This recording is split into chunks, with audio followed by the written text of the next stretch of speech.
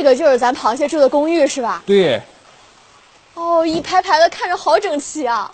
是啊，它是螃蟹都在里面吗？对呀、每您能为我打开。看一看吗？可以呀、哦，就这样一掰就开了。啊啊，真有一只螃蟹。对呀、每一格里面都有。哦，好干净啊，真的是。然后它外观这个就像一个大的落地窗一样，然后打开，哎，去到他家里去做客的那种感觉。一般的螃蟹养殖都是在池塘里，可花博为什么要独辟蹊径，非要给螃蟹盖公寓呢？您是怎么想到用这样的方式来养它呢？呃，以前就是传统传统的池塘养殖的话，成活率很低。它为什么成活率这么低啊？在之前，呃，因为螃蟹它相互之间打架非常厉害，啊，它打架的时候相互自相残杀，而且它在生长过程中需要脱壳，那么一脱壳以后呢，它就没有这个防御能力了，哦，啊，别的螃蟹就把它吃掉了，所以造成成活率很低。所以您就想到了用这样的方式，对，给它一格格分开，啊，一格里面放一只，嗯，这样的相互之间呢就见不着面儿，啊，就避免了自相残杀的问题。螃蟹看上去威风八面，实际上也有软弱的时候。像花博养殖的这种蟹，学名叫中华绒螯蟹，即使在养成阶段，也要经过四到五次蜕壳，每一次蜕壳都要历经生死考验。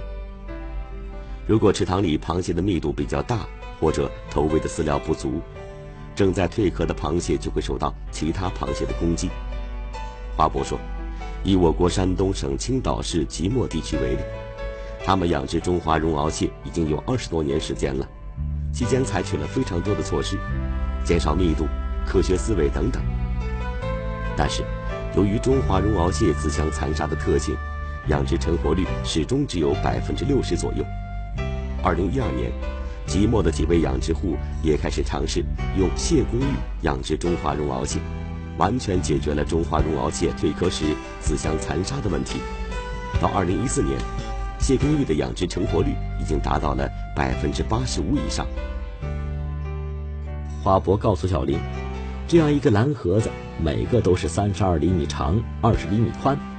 螃蟹因为比较懒，所以这么大的空间，经过他精心测算，已经足够螃蟹活动了。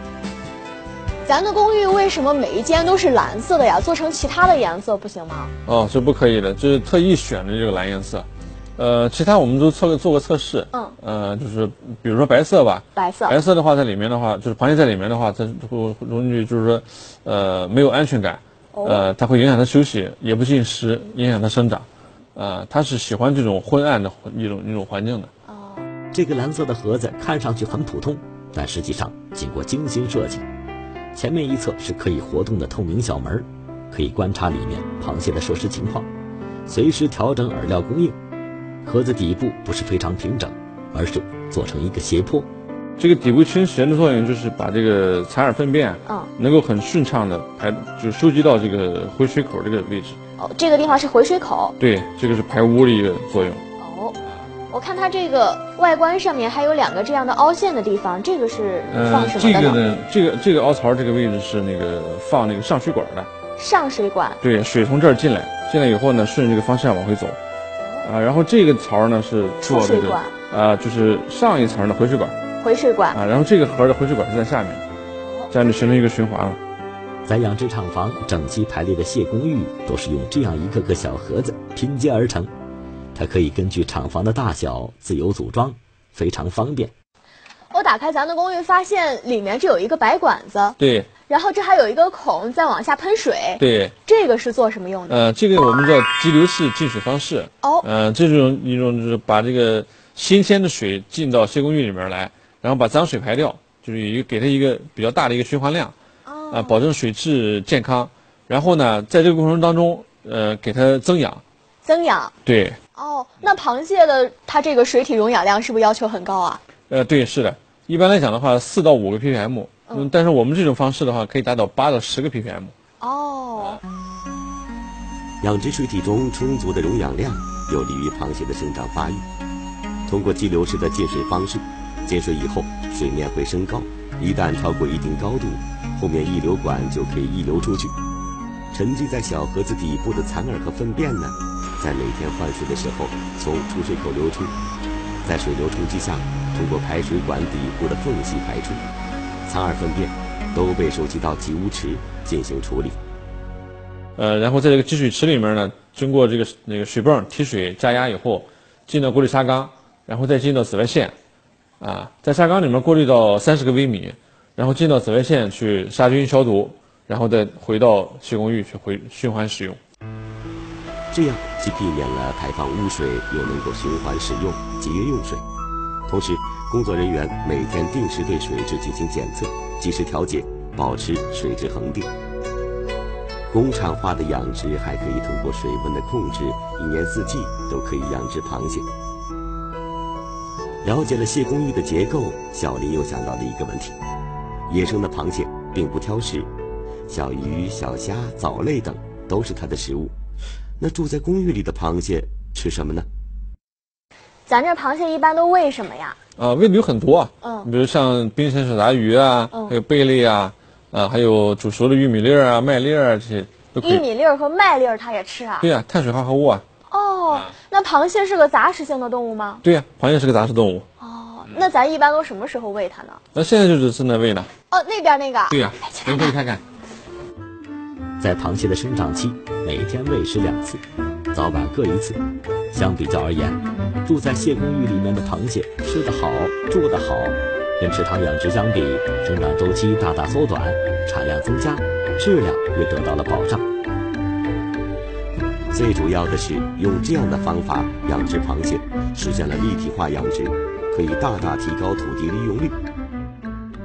华博说，以青岛即墨的中华绒螯蟹为例，一般每亩养殖中华绒螯蟹两千只左右，而采用蟹公寓进行养殖呢，一组蟹公寓占地只有三十平方米，能养一千个螃蟹。也就是说，两组蟹公寓占地只需要六十平方米，就可以替代传统的一亩池塘，养殖两千只中华绒螯蟹。呃，避免了这个天灾啊、人祸啊这些影响，嗯，呃，提高了成活率，呃，这样的话经济效益非常好。成活率也很高。对，而且更重要的是呢，就是说在这个环境下养殖出来的螃蟹，不但好吃，而且食品安全是有保障的。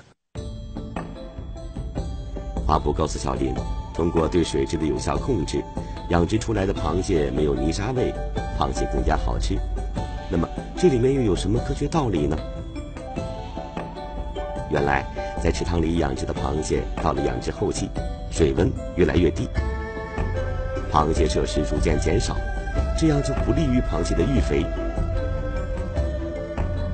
而在蟹公寓里呢，水温是恒定的，所以到了养殖后期需要育肥的时候，他们就根据螃蟹育肥的需要，上午、下午各喂一次，投喂量达到蟹容量的百分之六到百分之十，其中动物性饲料占到百分之六十。因此，经过蟹公寓育肥的螃蟹高肥之后，也就不算稀奇了。蟹公寓养殖的螃蟹，蟹壳呈青色，平滑而有光泽，蟹背上好像涂了一层油，轻而发亮，显得神气十足。再翻过来看看它的腹部，由于不接触泥土，所以给人的感觉是洁白晶莹。当然了，看是否成熟的好，还要捏捏蟹脚。经过育肥的螃蟹，蟹腿非常硬，这也是成熟好的一个表现。